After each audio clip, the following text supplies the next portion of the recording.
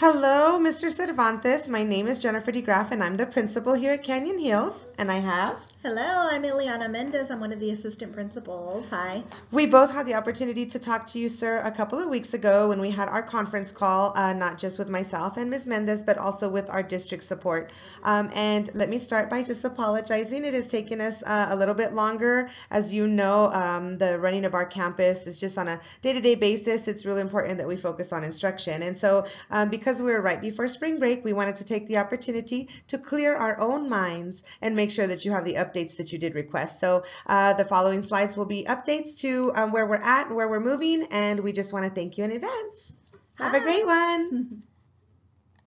I would like to take a moment, Mr. Cervantes, to just show you the area in which we have much of our digital documentation. We do use Office 365 as a district and in our OneDrive folder. There are two different folders that are dedicated to Canyon Hills. One is considered Canyon Hills Administration, and in that Canyon Hills Administration folder, you will notice that we have several different folders as it pertains to how we run our campus throughout the year. The one I thought I would show you more specifically would be, of course, for the improvement required documentations. And when you notice, if you would notice, over here we have TEA improvement required folder. When we do open up that folder, it does have documentation of several different PLCs that we have held, as well as different faculty meetings as we are in a continuous state of improvement. Specifically, I wanted to show you one of the documents that I will be attaching to this email in addition to this particular slideshow. When I look at the different areas that are in here, again, there are several. I'm going to go ahead and focus in on the most recent one that we worked on when we had our conference a couple of weeks ago. When you do take a look at that, if you notice right here, I'm going to go ahead and bring up the notes page that we have been using to make sure that we are following through with everything we say we're going to follow through with. So when I open this one up, it is attached to this email, so you will be able to open it as well and take a look at where we are.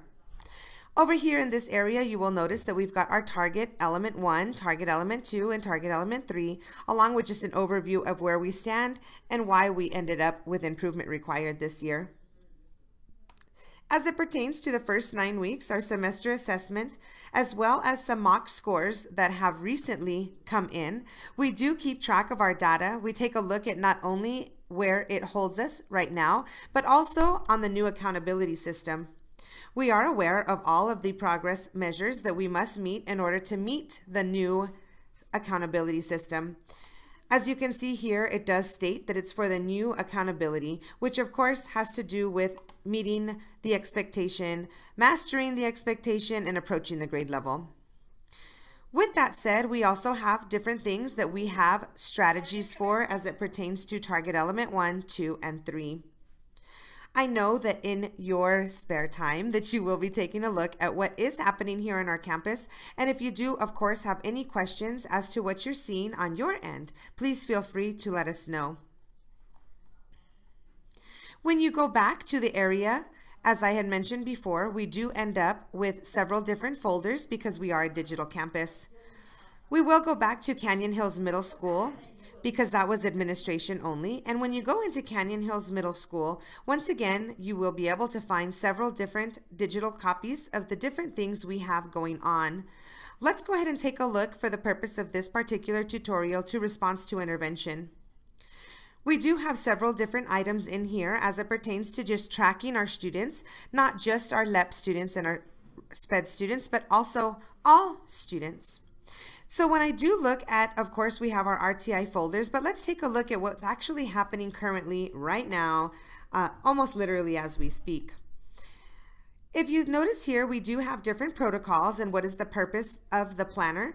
So in addition to that, you will take a look at the different protocols as well as who our team leaders are, when is our PLC time being dedicated to really have a joint effort between our tech calendar, our called Cobra Tech. It is a new tech school, as well as our main campus. We have already begun our Saturday school for ELAR and math. That has been going very successful. We are averaging 130 students per Saturday. In addition, we do have after school tutoring that is offered to our students in different areas. We also, of course, are focusing in on the SEs. When it comes to the semester exam, we did take a hard look at our data, and our teachers just attended the district sponsored response to intervention data sessions, and that took place just yesterday and the day before. With all that said, we do have different data here as it relates to how the students did and what the teachers need to focus on as we make our way closer and closer to STAAR. This document is also being attached to the email so that you may take a closer look and also so that you may copy and paste any information that you deem necessary. Again, sir, if you do have any questions at all, please do feel free to let us know. And in case you have been watching as I'm scrolling, it includes science and social studies as well. All of those RTI plans are currently in place and teachers are definitely in a state of it is crunch time. We call it crunch time because we know how close our STAAR is. Going back to our files, I'm going to go again into Canyon Hills Middle School. Again, to show you how our entire campus is really arranged. When I take a look at different things that are here on our particular campus folder. We do have several different folders, and if you would like any more information as it pertains to any of them here, please, sir, feel free to let us know. That is it for the Office 365 tutorial, and I will be going next to Schoology. For this slide, I would like to just show you yet another digital component of our campus. On our campus, we do have different digital components, but we are 95% of the time digital. It being 21st century education, we definitely are in the process and have been actually for the last two years, teaching our, not only our teachers, but also our students on how we are working with our technology components to really improve instruction. With that in mind, this is our Schoology home course. In Schoology, we find all kinds of different things that are available to our teachers, but the one I wanted to focus in on and show you today has to do with the way that administration is making sure the students are receiving quality instruction every single day. As we all know, a part of that has to do with T-TESS. And so in our T-TESS folder, you will be able to find several different things that teachers were previously trained on and that we visit on a regular basis. This first area has several different T-TESS resources, as well as our rubrics, our focus calendar for instructional feedback, and several other items. One of the ones I wanted to focus in on with you today, sir, is to take a look at the way that we make sure that our teachers are improving instruction daily. One of the ways we do that is what we consider learning resources, and here in our district we have what's called Who Knew It? Every time we conduct a walkthrough or a T-TESS appraisal, some of those times we notice that a particular teacher is having trouble with one domain and dimension or another. So in addition to having the area of reinforcement, not just during T-TESS appraisals, but also during all of our instructional walkthroughs, we also have areas of re refinement and reinforcement during walkthroughs. If, for example, we will go to instruction for the purpose of this tutorial, in instruction, as you know, we've got 2.1 all the way to 2.5. Let's say that during an instructional walkthrough, one of the administrators notices that the student that the teacher is having difficulty with dimension 2.4 differentiation. Let's say that they are not imp implementing something such as cooperative learning. With that said, what we do is we will assign the cooperative learning tutorial, which does require those teachers to log in. At this moment, I'm going to log into my account so that you're able to see what it might look like for a teacher.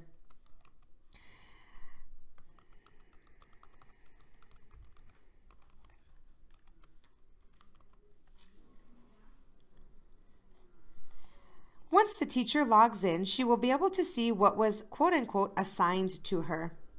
In this particular case, we will come in here. We will find the area in which we need to assign a particular Who Knew It tutorial, and the teacher will have the opportunity to take care of that tutorial and submit. When I come back to Schoology, I'm going to click on that cooperative learning again, and now that I'm logged in, it'll take me exactly to the cooperative learning tutorial that we want the teacher to go through. As you can see up here, they start by learning it. Then they go to making sure that they actually do it. Then they share it and then they prove it. When we do follow up with instructional walkthroughs, we do want to make sure that after a teacher has been assigned that particular tutorial, that they are implementing it inside the classroom. We're able to track all of that via the Whoknowit device, and it is very helpful for teachers to also do self-directed learning when, in that particular case, teachers are able to really complete any of the particular tutorials that are offered in several different dimensions. I know that some of us, for the most part, we want other instructional feedback to tell us what we should be doing. However, we want our teachers to also have the ability to do what they want.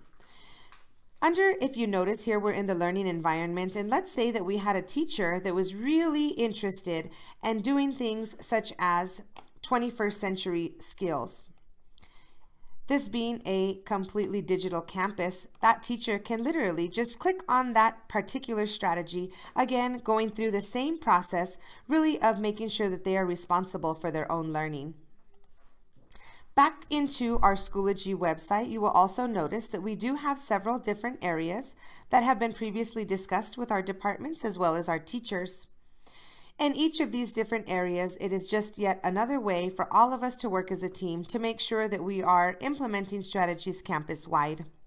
If you have additional questions or wish to find out more information in this particular area, sir, please feel free to give me a call. As part of our conversation during the day of the conference call, one of the things that we did um, talk about and was a question in your email had to do with campus highlights.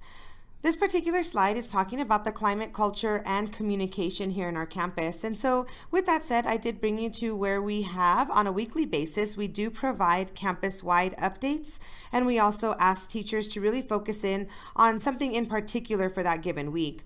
So what you're looking at right now, sir, I'm not going to show them all to you because as you can see, they're approximately uh, between 15 and 20 minutes per week as we do update um, all of our campus. And so I'm going to hone in um, on a couple just so you can take a look and see what that looks like. Welcome to Friday. Um, it is literally 12:40 p.m. on Friday. Um, I've lost track of the date. And so, even if you um, did not need to attend uh, the staff development to Engage to Learn, just remember that you are always welcome. Um, so that's a, a, very special shout out. Um, I do want to say um, thank you to all of the teachers who have been openly communicating and sending emails to the admin team to get some support and assistance with specific. So that is one example of our weekly updates. Um, that was actually uh, given just a few weeks ago. Here's another.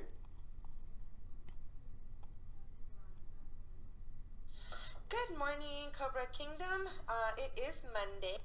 Questions about your new passes, please let us know. And otherwise, we look forward to seeing those passes around the students next. Also want to make sure that our elective teachers, who are also very important for our students as we count down to um, STAAR, Please make sure that our elective teachers are attending the reading strategies trainings every Wednesday in the library beginning this Wednesday. AVID START stands for Advancing via Individual Determination. One of the big goals that we talk about with our students and our core values is how the choices that they make are going to determine their future. Their future. So the reason that I included this summer in implementing them inside your classroom. If you notice, when I first started here, we had approximately 64, and I say approximately our grade level meetings that were held a couple of weeks ago. As part of those meetings, you guys did come up with the list of A, students who will be recognized during our Cobra Kingdom meets this Wednesday, but also students that needed to be placed on behavior trackers. So the reason I wanted to share this particular area with you, sir, is that with um, it being again crunch time, we spoke about that earlier in this particular slide, and we want our teachers and our staff as well to just be um, all on the same page as we do know uh, we need to prioritize what's important here on our campus. And so, with that said, I did just want to show you the highlights that we do include um, on a weekly basis, uh, and those can also be shared with you if you are a little bit more curious about how that is going down and um, and how it is building really just the culture of accountability and making sure that everybody stays on the same page.